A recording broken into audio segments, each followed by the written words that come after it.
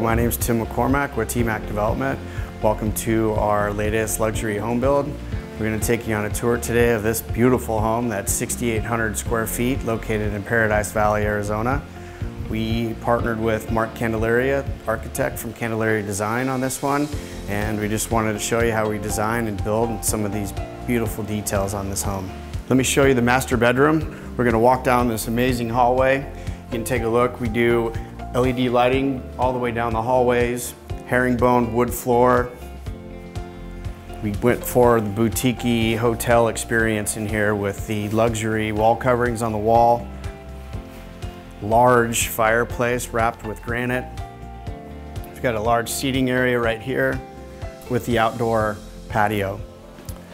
We're gonna show you the master bathroom now.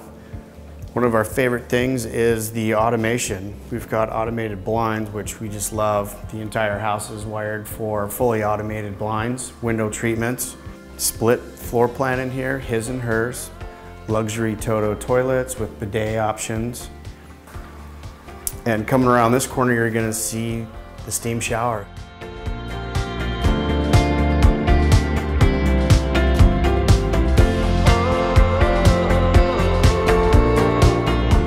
Now we're going to show you the office. Also has automated shades in here from Crestron. Full video conferencing, so you can handle all of your office meetings virtually from this seat in the house right here. Welcome to the great room. This is one of our favorite places in the entire house. It connects everybody when they come in or you're entertaining. The entire flow just goes right through this whole area. Double island, this gives it an informal way or place to eat right here. And then your formal kitchen prep. One of our favorite things about this house is this Viking rose gold. We were lucky enough to get this. Uh, there's 110 of these made. And with our connections, our suppliers, they allowed us to get one of these. We're pretty pleased about it. We're also the first to have a fully matte black appliance package from Viking, matching house with the rose gold.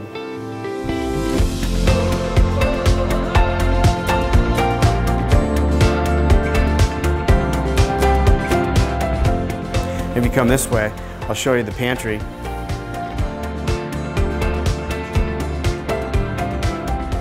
So if you're entertaining, you can set up all of your catering that can flow through here. This is a hidden door that you can't see from the outside, then flows right into this butler's pantry right here.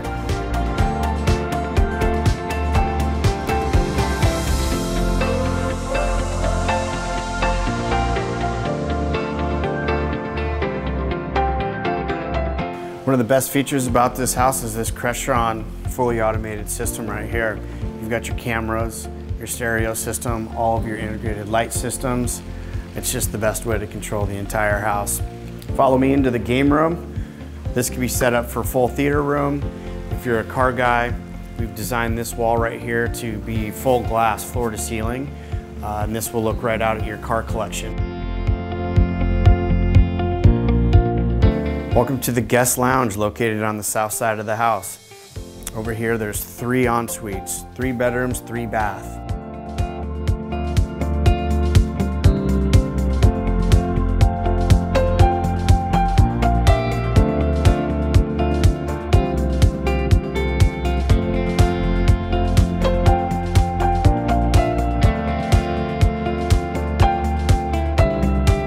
Now for my favorite part of the house is the garage. We actually climate control our garages.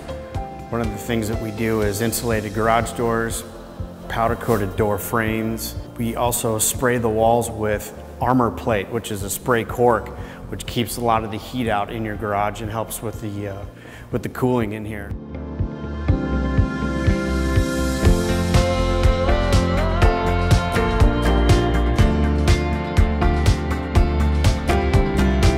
This is the man cave.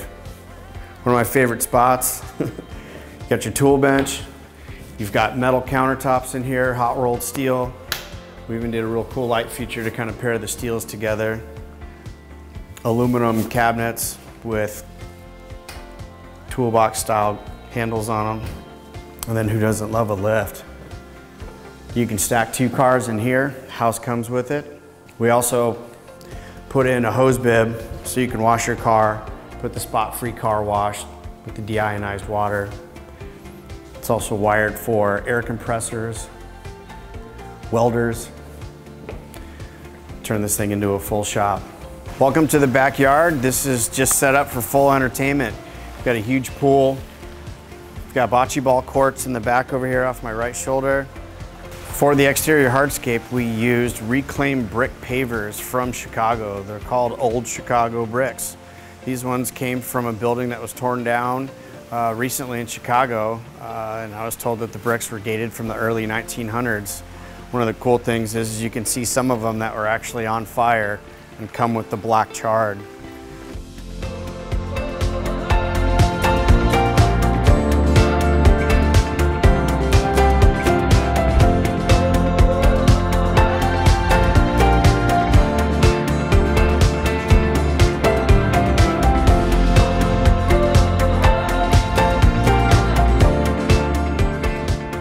Thanks for doing the walkthrough with us on our latest luxury home project.